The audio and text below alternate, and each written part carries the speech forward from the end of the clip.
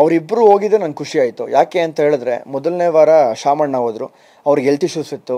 Tablet correct ಟೈಮ್ಗೆ ತೊಗೊಬೇಕಿತ್ತು, ನಿದ್ದೆ ಕರೆಕ್ಟ್ ಟೈಮಿಗೆ ಮಾಡಬೇಕಿತ್ತು ಫುಡ್ ಕರೆಕ್ಟ್ ಟೈಮ್ಗೆ ಸಿಗ್ತಾ ಇರಲಿಲ್ಲ ಅವ್ರಿಗೆ.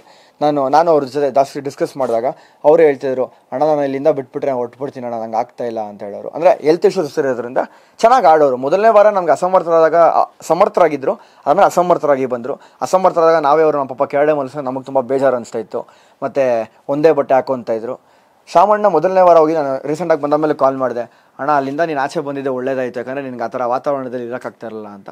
ಅದೇ ಥರ ಗೌರೀಶ್ ಅಣ್ಣ, ಅವರೇ ಪದೇ ಪದೇ ಕ್ಯಾಮ್ರಾ ಹತ್ರ ಬಂದು ಹೇಳೋರು, ನನ್ನ ನನ್ನ ಫ್ಯಾಮಿಲಿ ನೋಡಬೇಕು ನಾನು ಓಡೇ ಇರೋಕ್ಕಾಗ್ತಾ ಇಲ್ಲ. ನಾನು ಈ ಥರ ಲೈಫ್ ಲೀಡ್ ಮಾಡಿದವನಲ್ಲ. ಹೊರಗಡೆ ನಂಗೆ ತುಂಬ ಪೀಸ್ಫುಲ್ಲಾಗಿ ಸೈಲೆಂಟಾಗಿ ಕ್ಯಾಮ್ರಾ ಮುಂದೆ ಮಾತ್ರ ಮಾತಾಡ್ತಾ ಇದ್ದೆ. ಇಲ್ಲಿ ಮಾತಾಡು ಮಾತಾಡು ಮಾತಾಡು ಅಂದರೆ ನಾನು ಏನು ಮಾತಾಡಲಿ ಅಂತ ಹೇಳೋರು. ಗೌರೀಶ್ ಅಣ್ಣನೂ ಅಷ್ಟೇ ಟ್ಯಾಬ್ಲೆಟ್ ತೊಗೊಬೇಕಿತ್ತು. ಫುಡ್ ಕರೆಕ್ಟ್ ಟೈಮಿಗೆ ಬೇಕಾಗಿತ್ತು ಅವ್ರಿಗೆ. ಆ ಥರ ಕರೆಕ್ಟ್ ಅಂದರೆ ಎರಡನೇ ವಾರಕ್ಕೆ, ಎರಡು ವಾರಕ್ಕೂ ಅವರಿಬ್ಬರು ಹೋಗಿದ್ದು ಕರೆಕ್ಟಾಗಿತ್ತು ಅಂತ ಅನ್ಕೊತೀನಿ ನಾನು.